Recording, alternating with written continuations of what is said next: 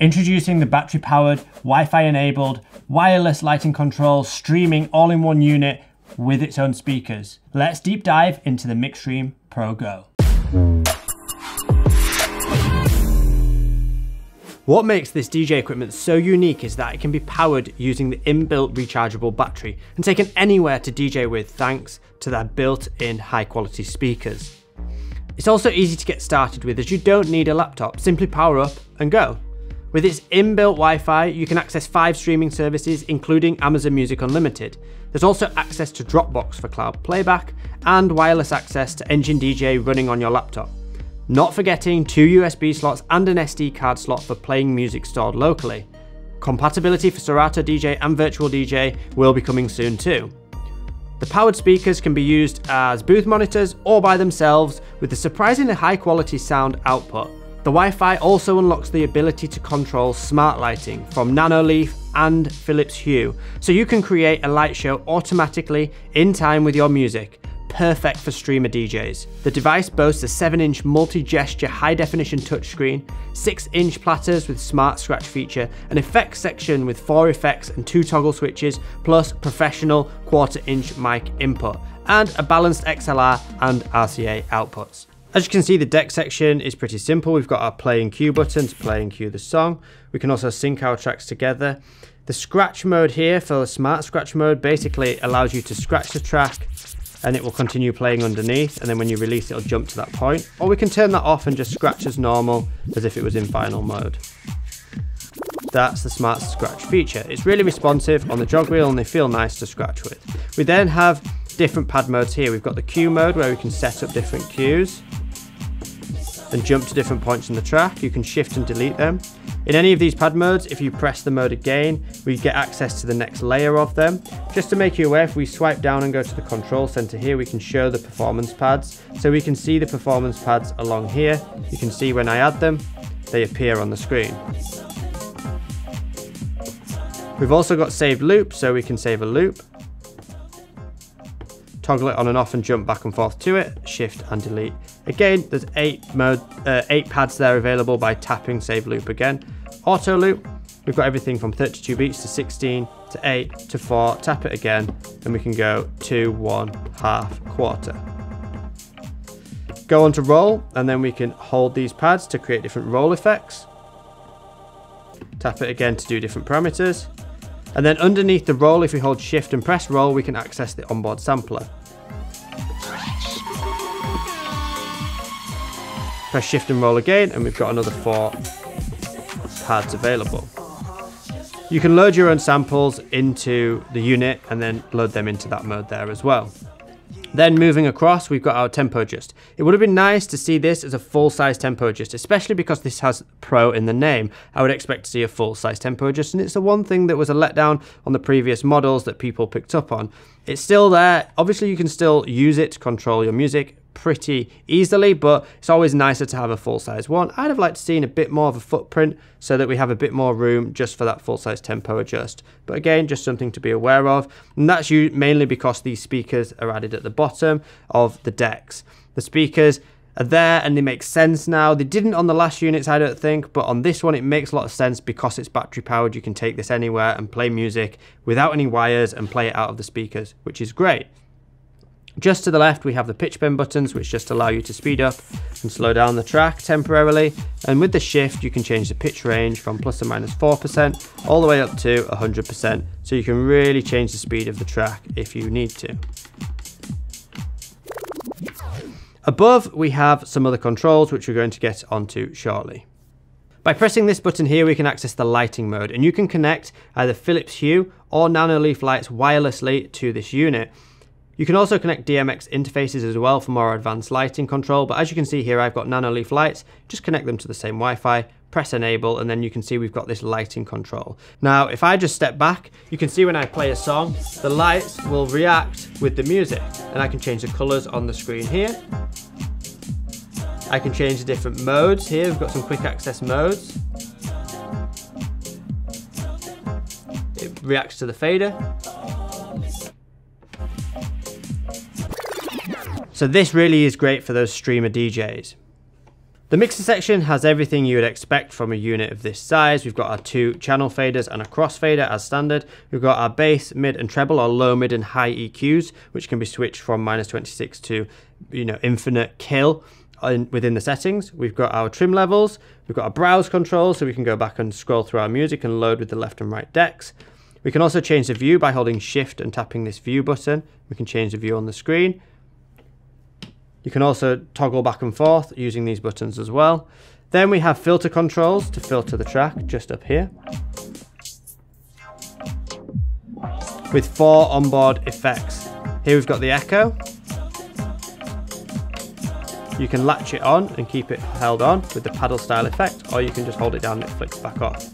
We've got flanger, delay, or phaser.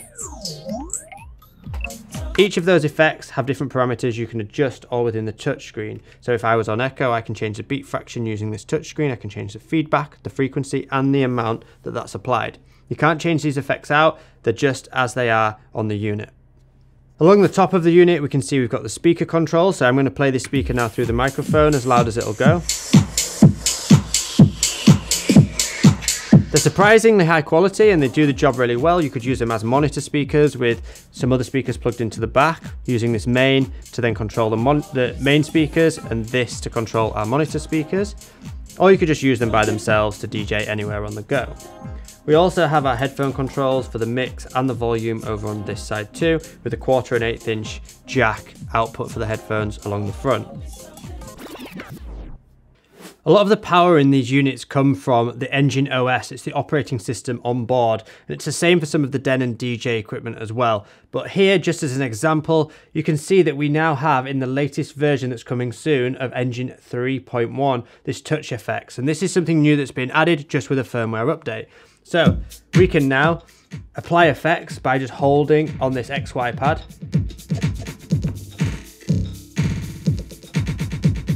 we can do different filters and echoes. We can also latch it on here.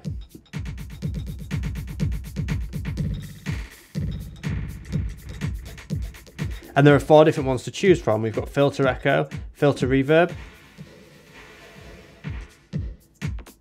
filter roll. Let's turn the resonance up. And we've also got LFO wub echo.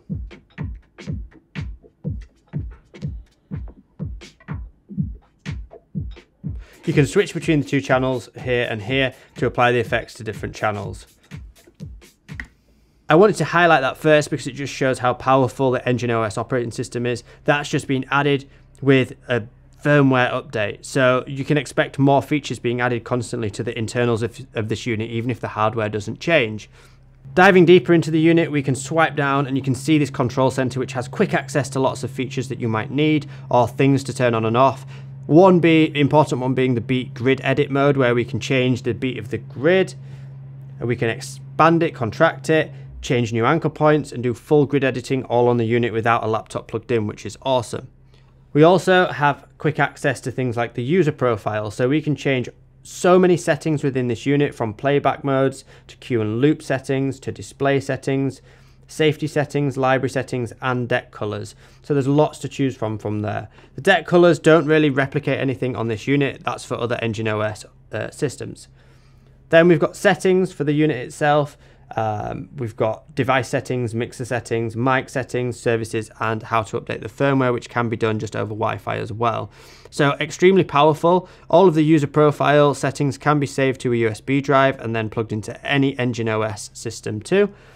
You'll also notice we have quick access to the lighting mode as well as this button here. We can record our sets. Now please note if you're recording your sets you can only record locally stored music such as that on a USB drive or you know stuff that you've downloaded legally.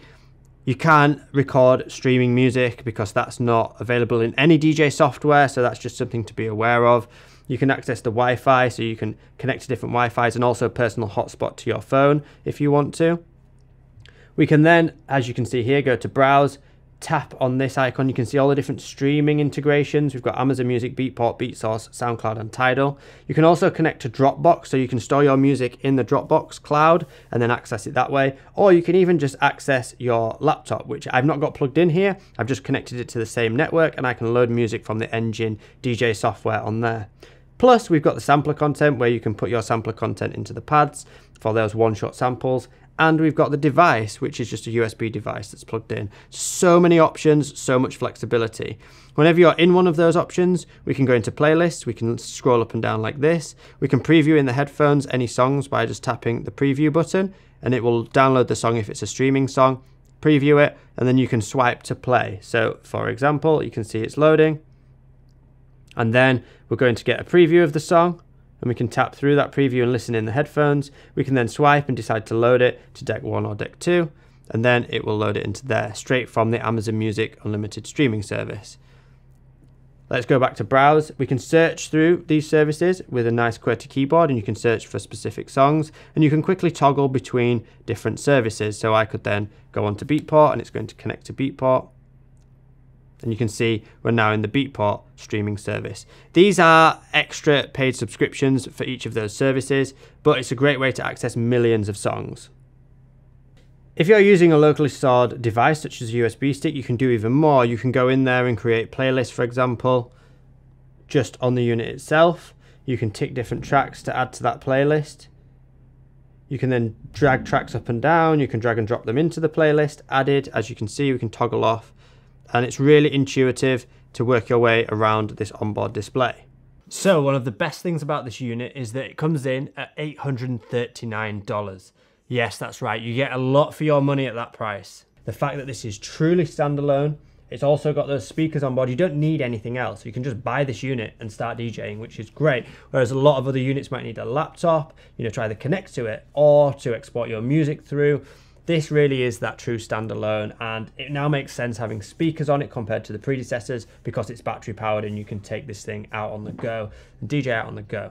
This would be a great unit for beginners just starting out because it has all those essential features you need. I'm always torn about this thing with the Mixstream series because they've added Mixstream Pro to these series and I think it needs to be split because I wouldn't say this is a pro unit just for the fact that it's only got the four performance pads and not eight. It's got a small tempo adjust, not a full size tempo adjust.